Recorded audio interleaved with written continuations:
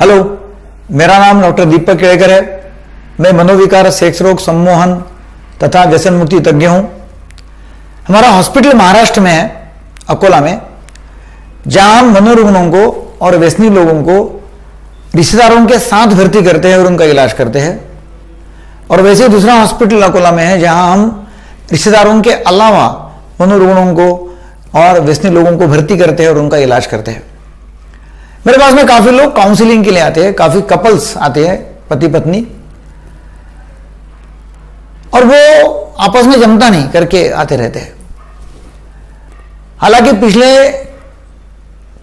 कई हज़ार वर्षों से शादियाँ हो रही है। मतलब ह्यूमन बीइंग जब से पैदा हुआ, तब से लोग अपोजिट से उसके साथ साथ में रह रहे हैं। शादी का ये जो इंस्टीट्यूट है, शादी की संस्था जो है मैरिज इंस्टीट्यूशन ये पता नहीं, दस हज़ार साल से चालू है। और शादी में साथ साथ रहते हैं। शादी करने का उद्देश्य रहता है कि भाई एक दूसरे को सपोर्ट करूँ। एक दूसरे की जो नीड है, वो पूरी करूँ। फिर खाने की नीड हो सेक्स की नीड हो, वो पूरी करूँ। और प्रोक्रिएट करो, नया जनरेशन पैदा करो। मगर होता क्या है कि शादी के पहले रिश्ता अच्छा अच्छा लगने लगता है स्पेशली जब लव अफेयर होता है लव मैरिज होता है तो शादी के पहले या शादी के बाद में साल भर तक जो व्यक्ति रहता है, वो व्यक्ति मतलब वो पत्नी और वो पति, शादी के एक साल बाद में वैसे रहते नहीं है। अब शादी में इतने प्रॉब्लम्स आ रहे हैं, इकट्ठा रहने में, एक साथ रहने में, कि लोग तो अभी बोलते कि रिलेशनशिप का लोगों ने ऑल्टरनेटिव ढूंढा हुआ है।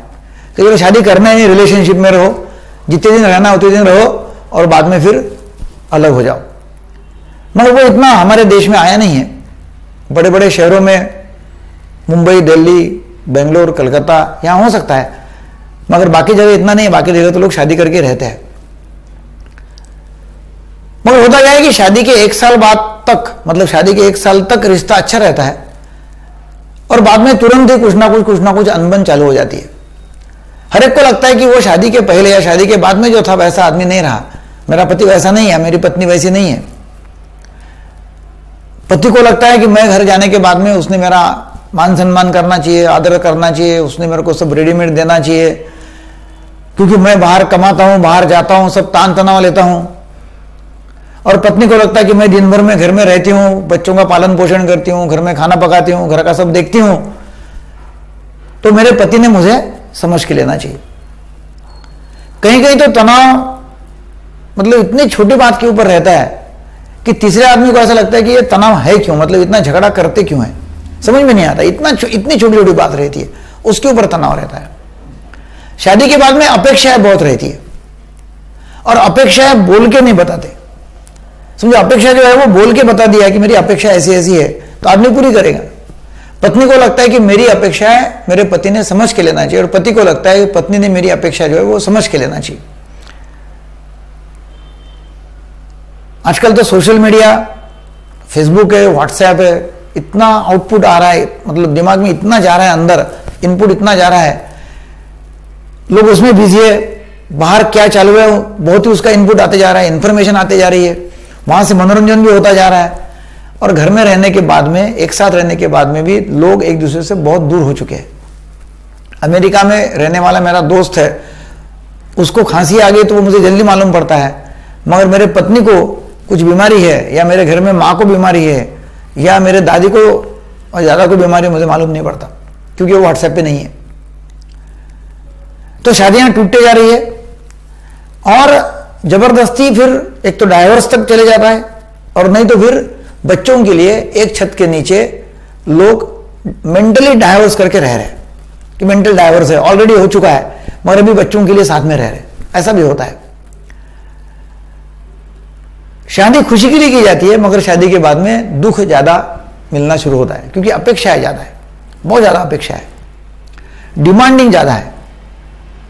और होता क्या है कि समझो, लड़की पढ़ी लिखी है, पत्नी पढ़ी लिखी है, और वो पढ़ी लिखी लड़की यदि शादी करके यहाँ आ गई है तो उसको ऐसा लगता है कि अपना एक्सप्रेशन नहीं हो रहा है, अपने को दबाया दबाया जा रहा है मतलब सप्रेस्ड हो गई हूँ, मेरा जो टैलेंट है, उसकी कीमत नहीं हो रही है। मुझे तो कुछ करने नहीं मिल रहा है, मैं तो घर घर में बैठी हूँ। जितना एक्सप्रेशन चाहिए, उतना एक्सप्रेशन नहीं हो रहा है तो वो डिप्रेस हो जाती है डिप्रेशन में चले जाती है। कभी कभी ऐसा होता है कि लड़की शादी के बाद में जब आती है तो वो अपने पति की तुलना मतलब प्रॉब्लम कहाँ थे? पति की तुलना अपने पिताजी के साथ में करती है। उसको उसके पिताजी अपने पति के रूप में देखते मतलब वो कंपैरिजन करते थे। मेरे पिताजी ऐसे थे, मेरे पिताजी वैसे थे। और वो उसको आदत रहती है हैबिचुअल हो जाती है। पिताजी के स्वभाव के साथ। में वो यदि उसको हस्बैंड में दिखा नहीं तो प्रॉब्लम आ जाता है। वो अपनी माँ की तुलना अपने सास के साथ में करते रहती है और उसमें उसका प्रॉब्लम आते रहता है कि माँ मेरी ऐसी थी, माँ ऐसी थी और वो सास ऐसी होना चाहिए। सास जो है वो अपनी बहू की तुलना अपने बेटी के साथ में करती है कि मेरी बेटी ऐसी है, बहू ऐसी होना चाहिए। और पति है तो पति अपनी तुलना, अपनी पत्नी की तुलना अपनी माँ के साथ में करते रहता है। हर समय कंपैरिजन चालू रहता है। और वो कंपैरिजन में अपेक्षा पूरी होती नहीं है। और फिर झंझट छोटी छोटी बात के ऊपर तुलना करते वक्त मतलब प्रॉब्लम आते रहते हैं। अब इसमें करना क्या है? जैसे मैंने बताया कि शादी करते लोग खुशी के लिए करते हैं। अपना वंश आगे बढ़ना चाहिए, इसलिए शादी करते हैं। एक दूसरे की नीड पूरी करना है इसलिए शादी करते हैं। सपोर्ट एक दूसरे को होना चाहिए, इसलिए शादी करते हैं। मतलब ये तो बाजू में रह जाता है। और फिर दोनों आप अपने अपने काम में इतने बिज़ी हो जाते हैं कि एक दूसरे को पूछने तक समय नहीं मिलता।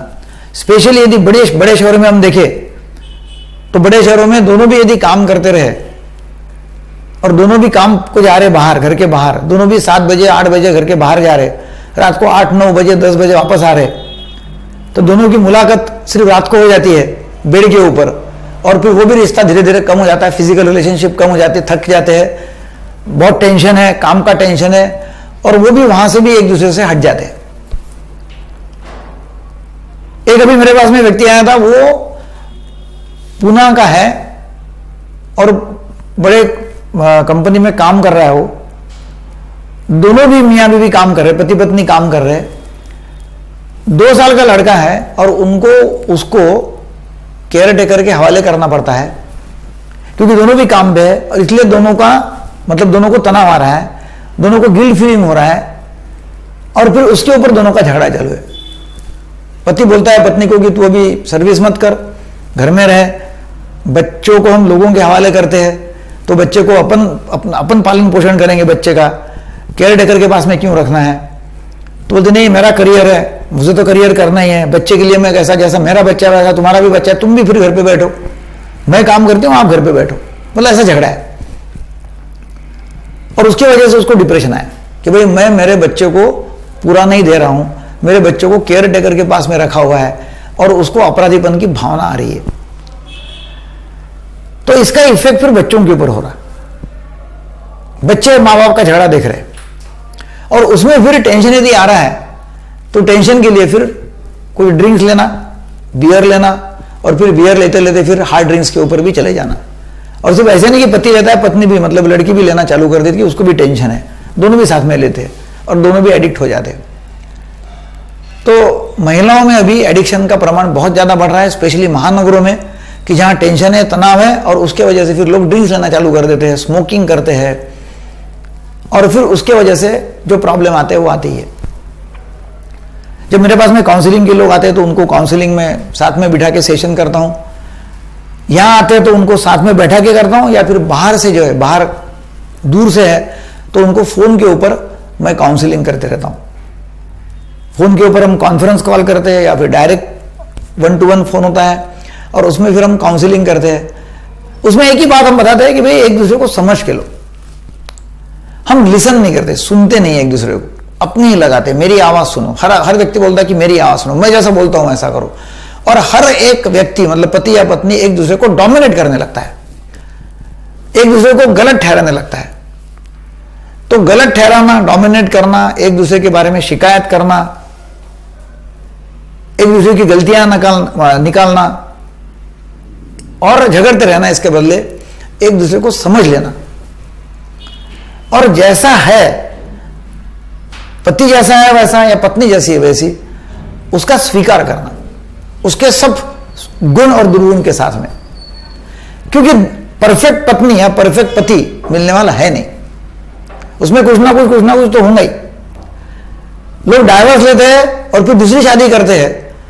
दूसरी शादी करने के बाद में मालूम पड़ता है कि अभी दूसरी पत्नी जो आई, उसमें अलग दुर्गुण है। भले ही पहले पत्नी के नहीं है, मगर अभी उसके अलग दुर्गुण है। लगता है कि पहली पत्नी अच्छी थी और उसके दुर्गुण चलते थे। या वैसे ही पत्नी का होता है कि पहला पति अच्छा था, उसमें जो दुर्गुण थे, वो भी दूसरे पति में नहीं है, मगर भी दूसरे पति में दूसरे दुर्गुण है जो अपने को नहीं चाहिए। तो डाइवर्स लेना ये उसका इलाज नहीं है। या अलग रहना उसका इलाज नहीं है। उसका इलाज है एक दूसरे को समझना, एक दूसरे की केयर करना। और यह समझ के चलना है कि अपने को दो दो कदम पीछे आना पड़ेगा, हर बात के ऊपर। तभी शांति हो सकती है। एक दूसरे को समझ लेना, एक दूसरे को सुनना एक दूसरे को जैसा है वैसा स्वीकार करना। जैसा है वैसा है, उसका स्वीकार करना, गलतियाँ नहीं निकालना। और एक दूसरे को क्या चाहिए, उसके लिए खड़े रहना।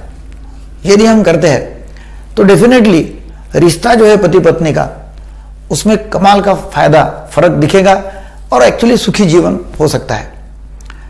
मैं लोगों को यह बोलता हूँ कि भाई विजुअलाइजेशन करो स्वसंमोहन करो सेल्फ हिप्नोसिस सेल्फ हिप्नोसिस करके खुद को सूचनाएँ दो, अपने अंतर्मन को सूचनाएँ देना और सूचनाएँ देके विजुअलाइज करो। क्या क्या गलतियाँ कोई कर रहा है, उसमें मैं क्या कर सकता हूँ? और उसकी जवाबदारी लो। जो भी हो रहा है घर में, जो भी अनबन हो रही है, उसकी जवाबदारी खुद नहीं लेना, उसके लिए दोष नहीं देना और जवाबदारी लेके वहाँ मैं क्या कर सकता हूँ? मैंने क्या किया तो ये समस्या जो उसका हल हो जाएगा, ये देखना। और दोनों का रिश्ता अच्छा चल रहा है, उसका विजुअलाइजेशन चिंतन करना। चिंता के बदले चिंतन करेंगे तो अच्छा होता है। तो चिंतन करना, सोचना, ये रिश्ते में मैं क्या अच्छा कर सकता हूँ? मेरे तरफ़ से मैं क्या करूँ कि जिसकी वजह से रिश्ता अच्छा हो जाएगा? ये हर एक ने देखना। यदि करते रहे तो वैवाहिक जीवन बहुत अच्छा हो जाएगा। अभी मेरे पास में कपल आया था, उनका इतनी छोटे बात के ऊपर मतलब झगड़ा हो रहा है कि भाई, वो उसकी पत्नी बाहर से कहीं से तभी आई। उसका पति, उसके माँ और उसके पिताजी, ऐसे घर में तीन बैठे हुए, वो बाहर से आई और वो तीनों बातें कर रहे थे, उसको लगा कि मेरे बारे में बात कर रहे हैं। अब मेरे में बात, मेरे बारे में बात कर रहे एक्चुअली सच्ची उसके बारे में बात कर रहे थे मतलब मेरे उसके बारे में क्यों बात कर रहे थे? मतलब क्या बात करते ये कहाँ गई है? ये कब आने वाले? ऐसी बात कर रहे थे। उसको लगा कि मेरे बारे में मतलब उसके भी खिलाफ बात कर रहे और उसके ऊपर से उसने झगड़ा चालू कर दिया। या मेरे को यहाँ ये घर में कीमत ही नहीं है। मुझे मेरी सास जो है, वो सुबह खाना पकाने देती नहीं, वो खुद ही खाना पकाती है। और मुझे पकाने देती नहीं है। मुझे बोलती नहीं, तू मत कर, मैं करती हूँ। मतलब ऐसे कुछ भी छोटी छोटी बात रहती है, उसके ऊपर उनका झगड़ा चालू हो जाता है। और फिर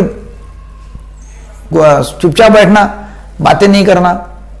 तो मैं काउंसलिंग में ये बताता हूँ कि कुछ भी झगड़ा हो गया पति पत्नी का तो भी कम्युनिकेशन बंद करने का नहीं है, संवाद बंद करने का नहीं है। मैं हरदम बोलता हूँ कि ए बी सी ए बी सी मतलब ऑलवेज बी इन कम्युनिकेशन हरदम कम्युनिकेशन में रहना है, कितना भी गुस्सा आ गया तो। कि होता क्या पति पत्नी का झगड़ा हो गया तो बात करना पहले बंद कर डालते, बात नहीं करते। बात नहीं किया तो फिर दरी जो है, गैप जो है ज़्यादा बढ़ते जाती है। तो कितना भी अपसेट हुआ, कितना भी गुस्सा आया, कितना भी झगड़ा हुआ तो पहला जो करना है, पहला पॉइंट फ़र्स्ट पॉइंट ये कि बात चालू रखने का है। क्योंकि बात जब चालू रखेंगे, संवाद चालू रखेंगे तो विसंवाद कम होगा। संवाद चालू रखेंगे तो वाद विवाद कम होगा। तो संवाद चालू रखने का है, अपेक्षाएँ दूसरे को बोलने की है। और जैसा है वैसा उसका स्वीकार करना यदि बात करेंगे तो दोनों एक दूसरे को समझ के लेंगे तो वैवाहिक जीवन जो है, बहुत खुशी का रहेगा। आपके संपर्क में ऐसे आने वाले काफ़ी सारे कपल्स होंगे कि जिनका आपस में कुछ ना कुछ कुछ ना कुछ अनबन हो रहा है। उनको ज़रूर ये वीडियो शेयर करो, उनको फ़ायदा होगा। आपके फेसबुक के ग्रुप के ऊपर व्हाट्सएप ग्रुप के ऊपर शेयर करो सब्सक्राइब करो। Thank you very much